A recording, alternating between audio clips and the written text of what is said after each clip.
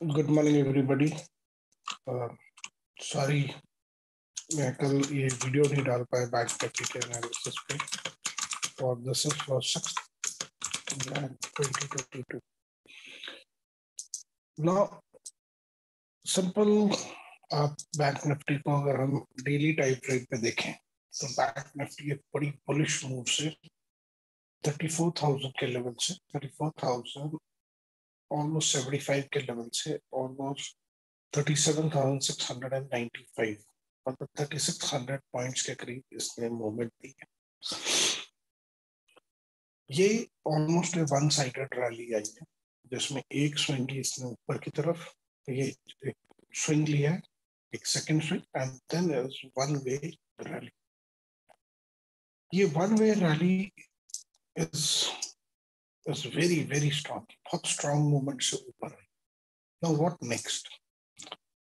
आज के दिन के लिए मेरी प्रिडिक्शन बैंक निफ्टी के लिए ये है कि ये आज एक स्विंग लेने के लिए नीचे आ सकती मेरा ये जो प्रिडिक्शन है that is just basis on the knowledge what I have मैं पिछले दो तीन दिन से यही प्रिडिक्ट कर रहा था कि बैंक निफ्टी नीचे आएगी बट अब ये आना शुरू करेगी क्योंकि ये वन साइडेड मूवमेंट बहुत ज़्यादा होगी प्रॉफिट बुकिंग और वो क्या कहते हैं जो कॉल राइटर्स हैं अब उनका टाइम आने वाला है the reason why I say कि bank Nifty should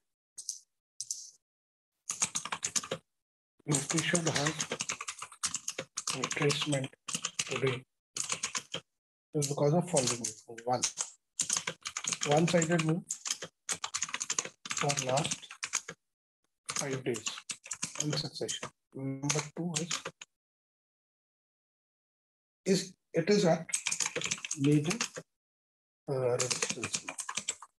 ये रेजिस्टेंस है on an higher time frame की let's see it ये कैसे हम लोग को अब हमने ये ड्रॉ अगर हम इसको सपोर्ट ड्रॉ करें डेली टाइम फ्रेम में तो ये अप्रोक्सीमेटली हमारे एक लेवल्स आते हैं जहाँ पे बैंक निफ्टी ने सपोर्ट ली थी। और जिसको हम कह देते हैं डिमांड जोन और ये हमारा है रेजिस्टेंस जोन जो ऊपर हर है। कल हमने प्रिडिक्ट किया था कि बैंक निफ्टी इस लेवल के ऊपर जाके रुकेगी। बैंक निफ्टी ने इसके ऊपर भी मूवमेंट थे अब हम इसको थोड़ा सा छोटे टाइप फ्रेम पे देखते हैं। थोड़ी सी लाइन एडजस्टमेंट कर दें। ये अब हम फोर आवर के टाइम फ्रेम पे So we can see if there is a signs of some reversal in, in Bank Nifty. Bank Nifty अगर 37,820 के लेवल को ब्रेक करके रीटेस्ट करती है तो ये बुलिश में चली जाएगी so it is bullish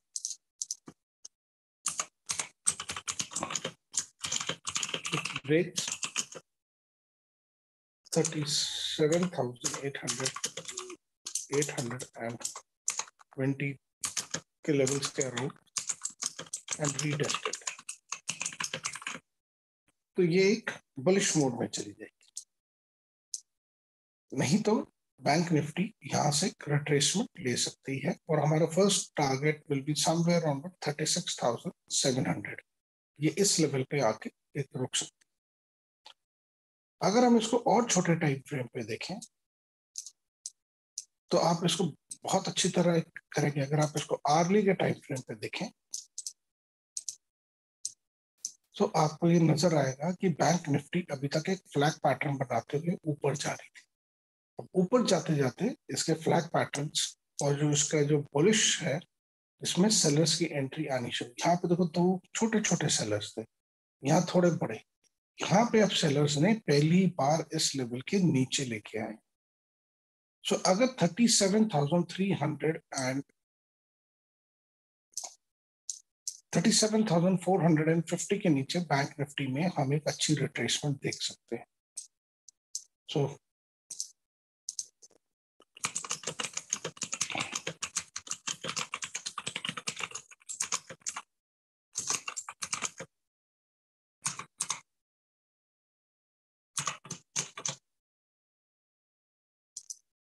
we can see a good retracement, below 37 thirty seven thousand four hundred यहाँ से मार्केट नीचे की तरफ़ आ सकती है। वही हम जो प्रोटेक्ट कर रहे थे कि इसका first stop will be somewhere around thirty six thousand eight hundred के करीब ये फ़र्स्ट स्टॉप हमारे लिए लेगी। यहाँ तक हम लोग को we can see a movement also price action में सप्लाई एंड डिमांड के अकॉर्डिंग अगर आप ये देखें this is a totally one way movement in a very short gap very very short gap में इतना वन वे मूवमेंट हुआ है। हम ट्वेंटी सेवन को शुरू हुए थे ट्वेंटी सेवन दिसंबर को thirty four thousand five hundred से। हमने थर्टी थ्री हंड्रेड पॉइंट्स की रैली वन वे देख ली। ये नहीं है कि मार्केट ऊपर नहीं जा सकती। मार्केट इज़ सुप्रीम हम सब का व्यूज़ गलत हो सकते हैं। बट अगर movement I we have to play with levels अगर हमारे लेवल सही हैं तो हमारा रिज़ल्ट भी सही होना चाहिए। कोई बंदा परफेक्ट नहीं है, कोई बंदा भगवान नहीं है। Market is supreme for all of us अब आप इस मूवमेंट को देखें, ये एक साइडेड एकदम जैसे ऊपर पहाड़ चढ़े। अब ये इसी हिसाब से भी नीचे आ सकता है, या नहीं तो इसको ब्रेक करके रीटेस्ट करके और ऊपर जा सकता है। जैसे इसने अक्टूबर में दिखाया था, जब इसने one way five thousand points की मूवमेंट दी थी। ऐसे मूवमेंट्स सारे कॉल राइटर्स या जो ऑप्शन सेलर्स है, उनके लिए थोड़ा सा ये मुश्किल टाइम होगा। अब मेरा आज एक और मानना है कि ये क्योंकि मेजर टाइम की रेजिस्टेंस है एंड यहाँ पे ऑलरेडी हमें थोड़े से रिवर्सल के साइंस मिल रहे हैं एट दिस पॉइंट इस पॉइंट पे हमें रिवर्सल के साइन मिल रहे हैं। तो opening half an hour will decide bank Nifty किस तरह मूव कर सकती है।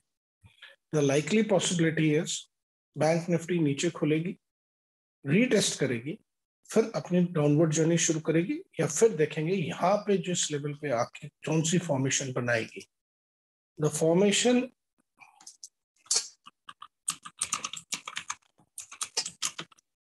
around thirty seven thousand eight hundred and 37,400 will be crucial. बहुत बारी ऐसा होता है कि बैंक निफ्टी इसी रेंज में घूम सकती है। तो हम इस लेवल के ऊपर देखेंगे या इस लेवल के नीचे देखेंगे। अभी तक जो एस जी एक्स निफ्टी की न्यूज़ आ रही है that is S G X Nifty is around hundred points negative